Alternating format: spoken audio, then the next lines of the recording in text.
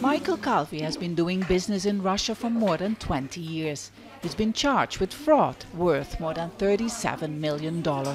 Prosecutors say he illegally underpriced shares of Vostochny Bank. Calvey says he's the victim of a corporate dispute with shareholders.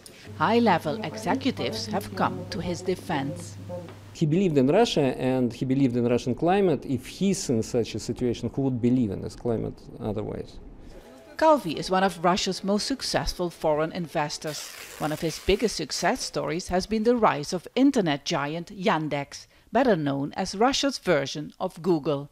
In an open letter to Vladimir Putin, Calvey's colleagues have asked the president to personally get involved in his case. But in his annual address to the Federal Assembly last week, Putin suggested his concerns are not always listened to.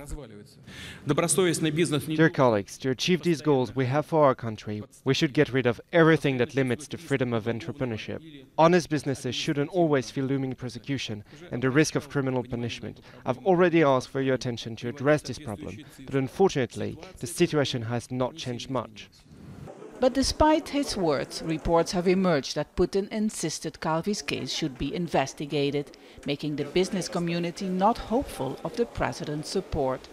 We hear it from Mr. Putin for about 15 years in a row, and nothing changes. The situation becomes even worse.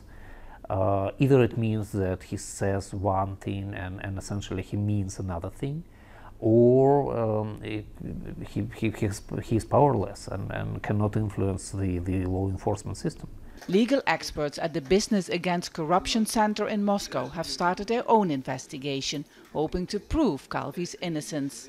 And they say that according to Russian law, it is illegal to detain a suspect in a corporate case before his trial. Michael Calvey's case is seen as a sign of the increasing uncertain Russian investment climate. Some say the case shows that without the right connections, it has become more and more difficult to do business here. And with tens of billions of US dollars of oil revenues coming in every year, foreign investors like Calvey are not the government's priority. Step Vaessen, Al Jazeera, Moscow.